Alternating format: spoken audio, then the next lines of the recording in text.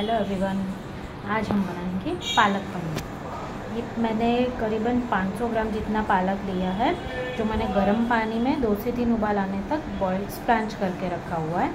अब इसे हम अच्छे से मिक्सी में पीस लेते हैं।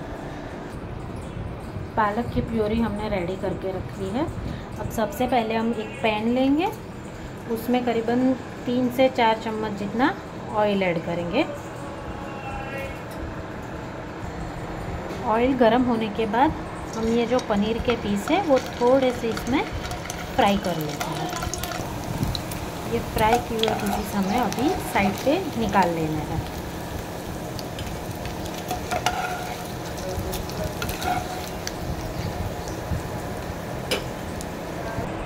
अब इसी ऑयल में हम जो ग्रेवी रेडी की है, करीबन तीन चम तीन टमाटर और चार बड़े प्याज लेकर उसको अच्छे से भून के फिर हमने ये ग्रेवी ग्रेवी रेडी करी है। इसको अच्छे से दो मिनट के लिए पका लेते हैं। अच्छे से कुक होने के बाद इसके अंदर हमें अदरक, मिर्च और लहसुन की जो पेस्ट रेडी की है, वो ऐड कर लेनी है। और उसको भी इसके साथ अच्छे से पका लेना है। इसको करीबन चार से पाँच मिनट तक पकने देते हैं। और ढक लेते हैं। मीडियम फ्लेम पे ही इसे पकने देते हैं। इस स्टेज पे हम इसमें थोड़े स्पाइसेस ऐड कर लेते हैं। एक चम्मच जितनी लाल मिर्च, दो चम्मच धनिया जीरा पाउडर, एक चम्मच किचन किंग मसाला एक चम्मच गरम मसाला। स्पाइसेस को मिक्स करके दो से तीन मिनट तक पकने देते हैं।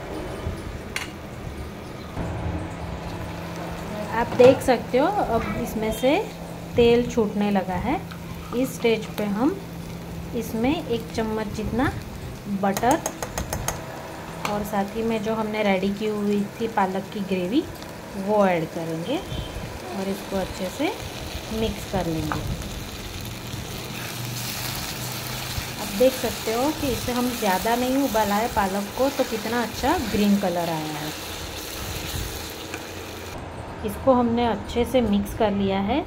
इसी स्टेज पे हम पनीर डाल के अच्छे से मिक्स कर लेते हैं और करीबन चार से पाँच मिनट तक इसको पकने देते हैं।